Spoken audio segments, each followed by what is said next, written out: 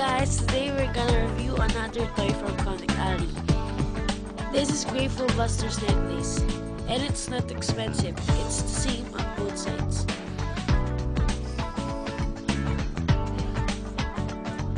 It's very cool, and here's the box that where it came from.